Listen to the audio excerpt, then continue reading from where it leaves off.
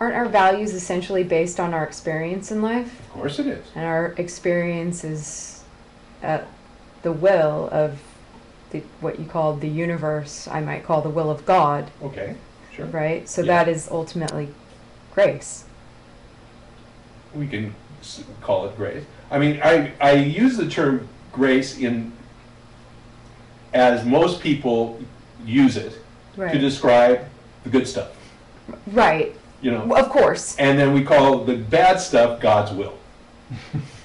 so we have grace and we have God's will, and that covers everything. Right. But sometimes bad things, you may think that they're bad at, at some point in your life, Right. and then you look down the road and they ultimately end up being That's right. good things. Yes.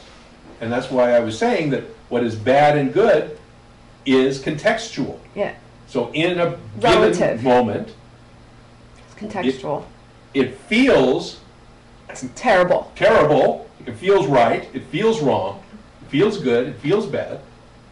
And that's the only thing you've got to go by in terms of your life experience.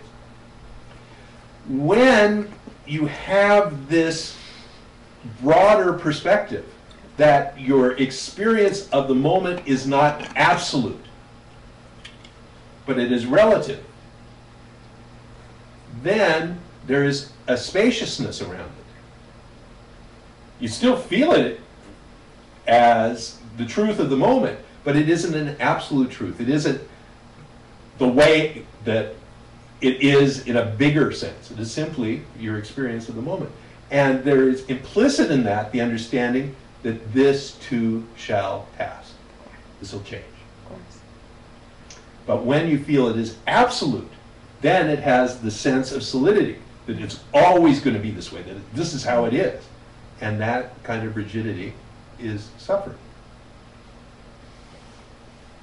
Painful. Not only painful, but it is suffering. Painful is the shit you don't like. That's painful. When it gets rigid and, and feels absolute, then you suffer because you projected that it's always going to be this way, that it is universally awful.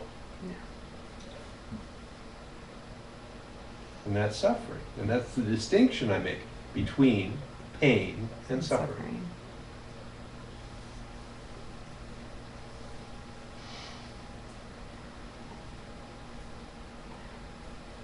And pain is not optional. But what about the experience of it? Pain is not optional.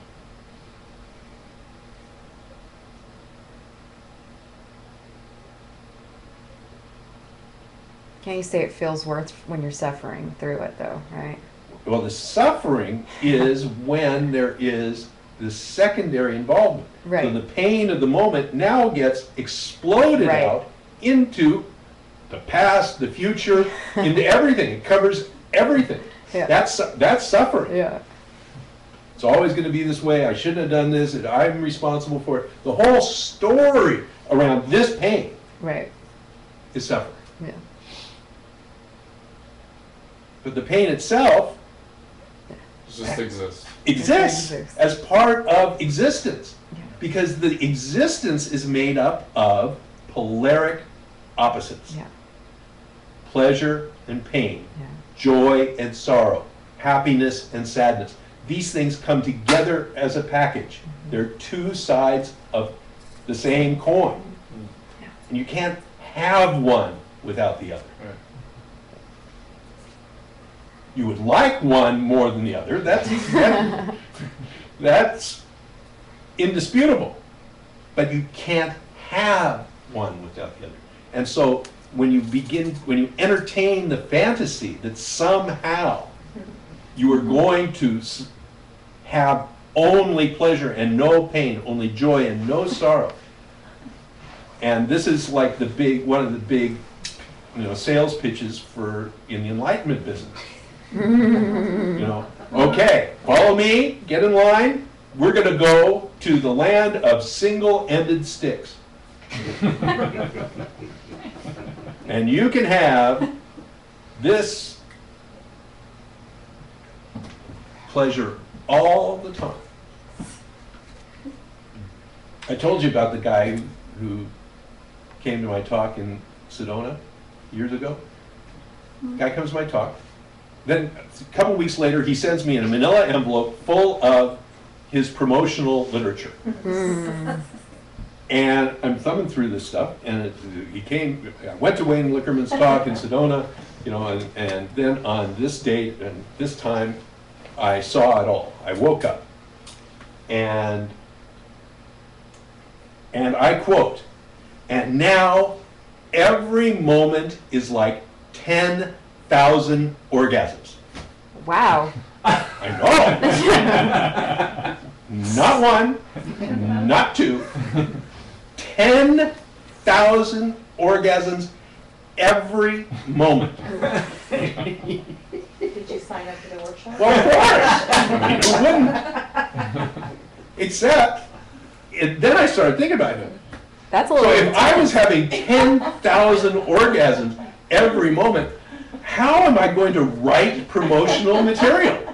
I mean, if I'm having one orgasm, I'm not interested in anything else. I'm interested in that. I have no energy, attention, focus for anything else. So if I'm having 10,000 of these things every moment, I mean, Why like, go to the why do anything? Why do anything? So, but that's like, this is not that unusual. I mean, it, if you go through the, you know, the spiritual literature, I mean, that in various guises is what's being talked about all the time. It, you know, bliss, eternal bliss.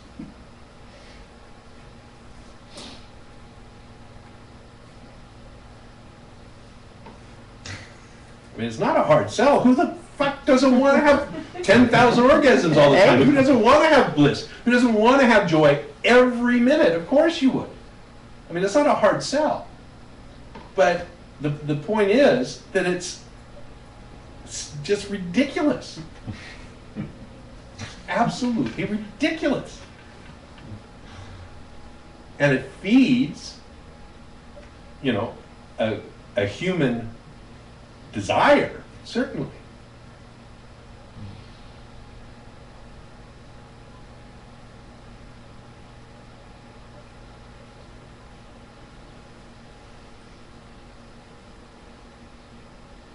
But when you, while you're busy pursuing bliss every moment, then you miss the incredible miracle of life right here.